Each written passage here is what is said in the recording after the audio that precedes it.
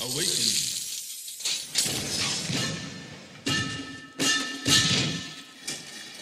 I live! So tell me what mortal needs my protection, great ancestor. You just say the word and I'm there. Mushu. And let me say something. Anybody who's foolish enough to threaten our family, vengeance will be mine. Mushu. These are the family guardians.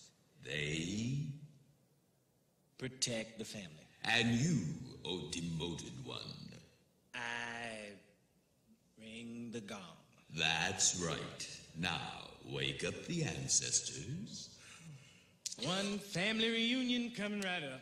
Okay, people, people, look alive. Let's go. Come on, get up. Let's move it. Rise and shine. We're all way past the beauty sleep thing. Trust me.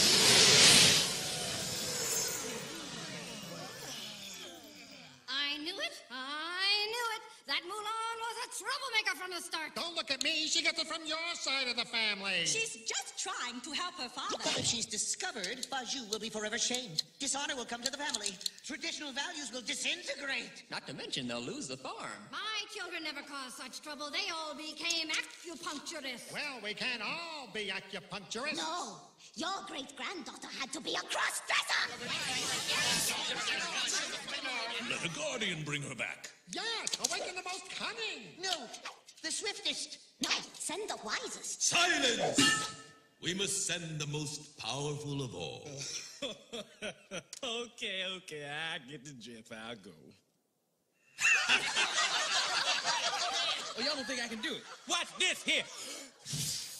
Ah, jump back. I'm pretty hot, huh? Well, maybe at the singe nobody proved no point. You had your chance to protect the Fa family. Your misguidance led Fa Deng to disaster. Yeah, thanks a lot. And your point is? The point is, we will be sending a real dragon to retrieve Mulan. What? What? I'm a real dragon. You are not worthy of this spot. Now, awaken the great stone dragon. So you get back to me on the job thing.